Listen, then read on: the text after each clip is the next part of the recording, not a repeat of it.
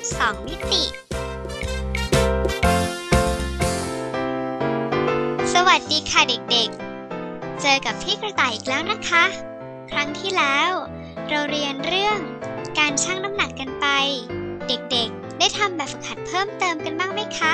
เด็กๆ ต้องอย่าลืมทำแบบฝึกหัดนะคะ พี่กระต่ายเอาใจช่วยค่ะ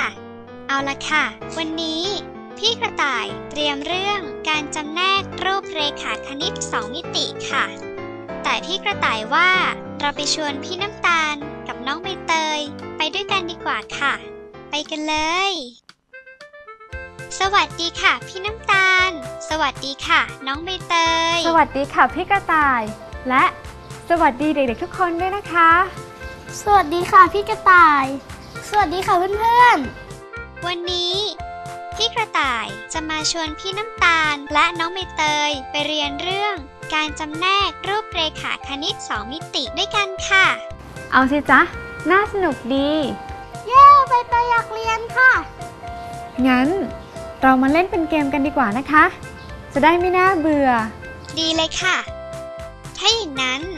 เรามาเล่นเกมจำแนกรูปเรขาคณิต 2 มิติ กันดีกว่าค่ะ แต่ก่อนที่เราจะไปเล่นเกมกัน เรามาช่วยกันเตรียมอุปกรณ์สำหรับเล่นเกมกันก่อนนะคะ นั่นก็คือ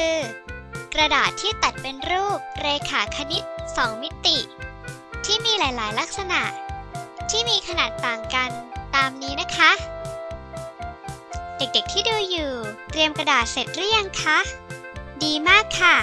เมื่อได้กระดาษรูปเรขาคณิต 2 มิติเรียบร้อยแล้ว ก็ช่วยพี่กระต่ายจำแนก จัดกลุ่มของกระดาษ รูปเรขาคณิต 2 มิติ เหล่านี้หน่อยสิคะ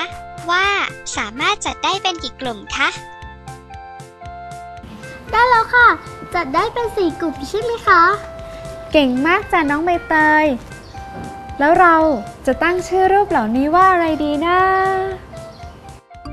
เด็กๆล่ะคะ จำแนกได้เป็นกี่กลุ่มบ้างคะ เรามาจำแนกพร้อมๆกันอีกรอบนะคะ จัดกลุ่มได้เป็น 4 กลุ่มค่ะ ถูกต้องแล้วค่ะ รูปเหล่านี้ เราจะเรียกว่า รูปสี่เหลี่ยมนะคะ รูปเหล่านี้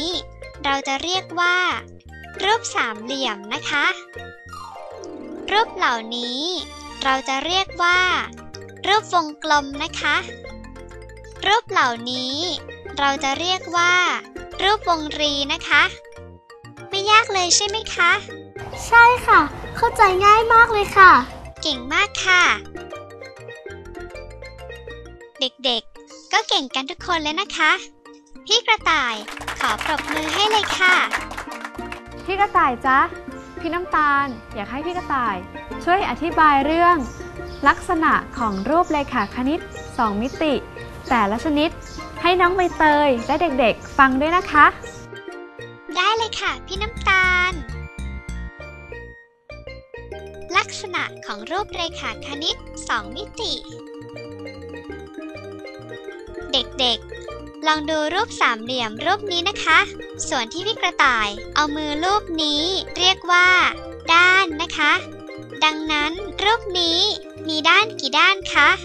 เด็กๆ คนไหนตอบได้ ยกมือขึ้นแล้วตอบดังๆ เลยค่ะ เด็กๆ ตอบมาแล้ว น้องใบเตยล่ะคะ ตอบได้ไหมเอ่ยสามด้านค่ะ เด็กๆ คะ น้องใบเตยตอบถูกไหมคะ ถูกต้องค่ะ รูปสามเหลี่ยม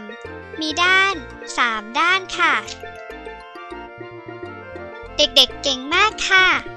เราไปรู้จักส่วนต่อไปกันเลยดีกว่าค่ะ ซึ่งก็คือ ส่วนที่เรียกว่า มุม นั่นเองค่ะ มุม คือส่วนที่มีด้านสองด้านมาบรรจบกัน ดังนั้น รูปนี้มีมุมกี่มุมคะสามมุมค่ะ เก่งมากค่ะ เด็กๆล่ะคะ ตอบได้ไหมเอ่ย ตอบสามมุมเหมือนกันเหรอคะ ถูกต้องค่ะ รูปสามเหลี่ยมมีมุมสามมุมค่ะ เด็กๆ เก่งมากเลยนะคะ เอาอย่างนี้เด็กๆ ลองช่วยสรุปให้พี่น้ำตาลฟังหน่อยสิคะ ว่า รูปสามเหลี่ยม มีด้านกี่ด้าน และมีมุมกี่มุมคะ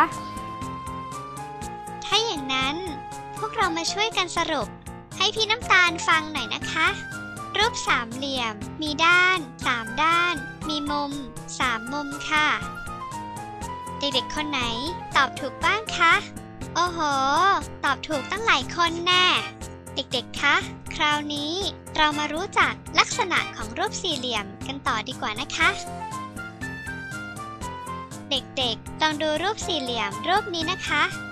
ส่วนที่พี่กระต่ายเอามือรูปนี้ เรียกว่าด้านเหมือนกันนะคะ ดังนั้น รูปนี้มีด้านกี่ด้านคะสี่ด้านค่ะ เด็กๆล่ะคะ ตอบได้ไหมเอ่ย ถูกต้องค่ะ รูปสี่เหลี่ยม มีด้านสี่ด้านค่ะ เด็กๆ เก่งมากค่ะ งั้นเราไปรู้จักส่วนต่อไปกันเลยดีกว่าค่ะ ซึ่งก็คือ ส่วนที่มีด้านสองด้านมาบรรจบกัน เราเรียกว่า มุมเหมือนกันนะคะ ดังนั้น รูปนี้มีมุมกี่มุมคะสี่มุมค่ะ ดีมากค่ะ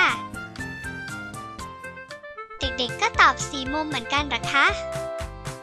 ถูกต้องค่ะ รูปสี่เหลี่ยมมีมุมสี่มุมค่ะ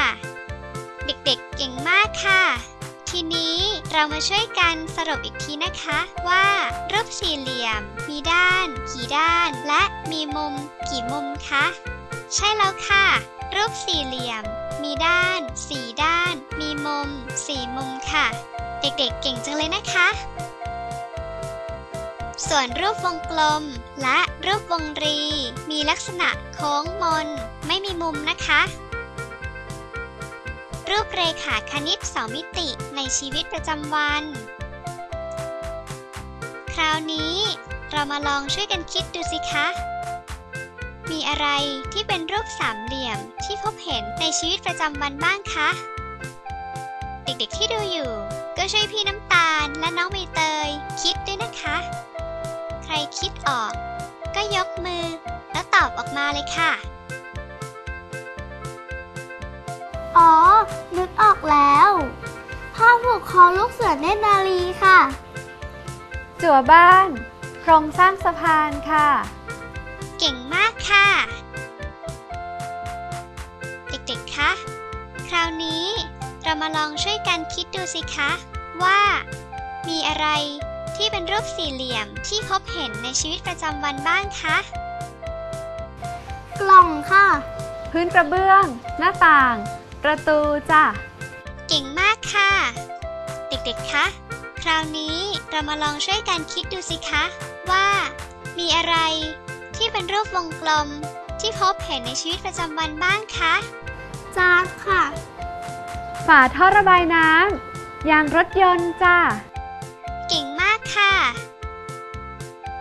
เด็กๆ คะคราว นี้เรามาลองช่วยกันคิดดูสิคะว่า มีอะไร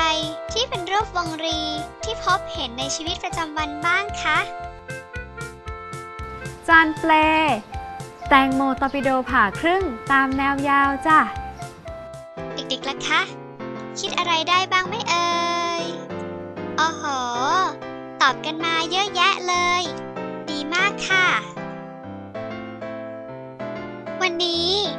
คนเก่งมากเลยนะคะ พี่น้ำตาล ใช่แล้วจ้ะ และยังตั้งใจกันมากอีกด้วยจ้ะ พี่กระต่ายกับพี่น้ำตาลต้องยกนิ้วให้เลยค่ะ ว่าแต่เอะวันนี้น้องมีเตยสนุกไหมคะ สนุกมากค่ะพี่กระต่าย แล้วเด็กๆที่ดูอยู่สนุกไหมคะ ดีใจจังเลยค่ะ ที่เด็กๆชอบ ตอนนี้เด็กๆก็รู้จักรูปสามเหลี่ยม รูปสี่เหลี่ยม รูปวงกลม และรูปวงรีกันแล้วนะคะ ถ้าหากว่าเด็กๆ อยากรู้ว่ามีอะไรอีกบ้างนะ ที่มีส่วนประกอบของรูปสามเหลี่ยม รูปสี่เหลี่ยม รูปวงกลม และรูปวงรี เป็นส่วนประกอบอยู่ เด็กๆ ก็ลองมองดูรอบๆตัวสิคะ และที่สำคัญอย่าลืมทำแบบฝึกหัดด้วยนะคะ พี่กระต่ายคอยเอาใจช่วยอยู่ค่ะ สำหรับวันนี้ พี่กระต่าย พี่น้ำตาล น้องใบเตย ต้องขอตัวไปก่อนนะคะ แล้วเจอกันใหม่นะคะเด็กๆ สวัสดีค่ะ บ๊ายบาย